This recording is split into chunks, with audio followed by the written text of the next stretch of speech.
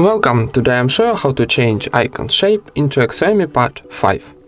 First of all open your Play Store and in the search write X icon changer application, this one, this application.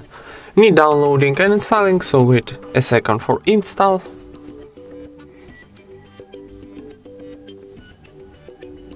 And now click open.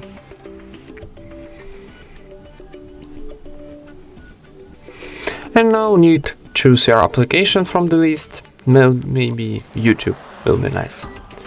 Okay, change your application and then from the library choose your icon shape. Mm, maybe here we got some interesting icon, maybe this one. Okay, choose your icon and then in the top right corner we got OK button. Tap it and how you can see we got a message. Please go to the system settings to open shortcuts permission. Tap OK.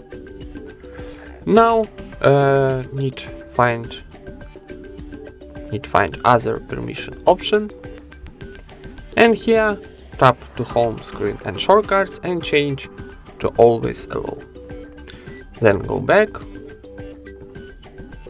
and go back one more time. And now one more time click OK button in the top right corner and wait a second for generating of new icon. And how you can see we got success message, so go out to home screen and find our new icon of YouTube. And that's it. Thank you for watching, leave thumbs ups and subscribe to our channel.